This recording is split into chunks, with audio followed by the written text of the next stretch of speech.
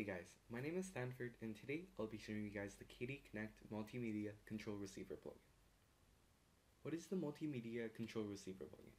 Well, this plugin allows you to remotely control the volume, pause, play, rewind, fast forward, previous track, and next track functions on your computer through your phone.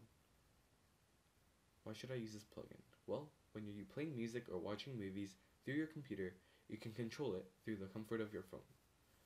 For example, when your friends come over, you can change the song being played through your phone, or you can watch a movie through your computer and use your phone as a remote. How do I use it?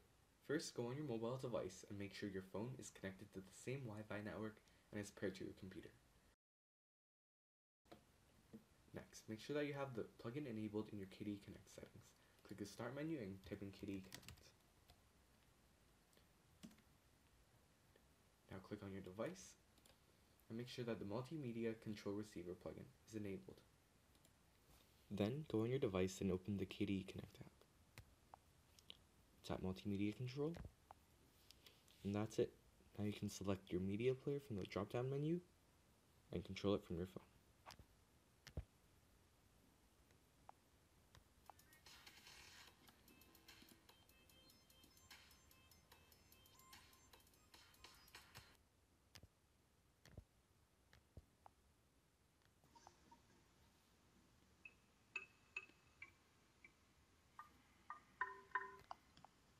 This plugin supports a large number of audio and video players, including Amarok, Clementine, VLC, and many more.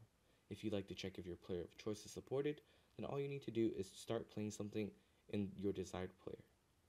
If it is supported, then KDE Connect will automatically detect it and allow you to use it from the app.